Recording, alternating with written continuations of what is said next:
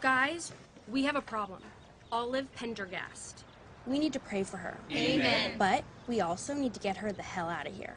Amen. I'm sure you guys heard what happened at Melody Bostick's party. I was there. I heard the whole thing. That's not something you need to advertise, Kurt. Sorry. But I was.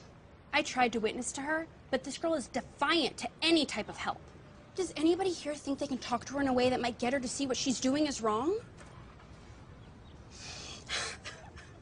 It's okay. I'm sorry, you guys. This is so stupid. No, it's not, Marianne.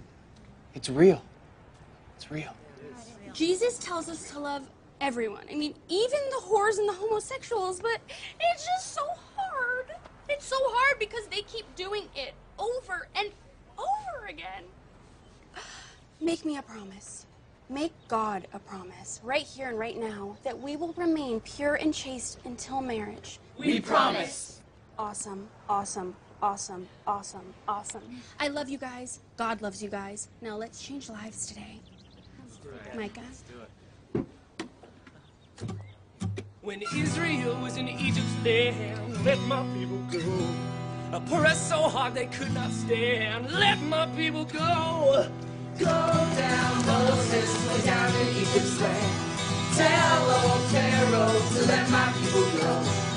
Let my people go. To let my people, to let my people, to let my people go.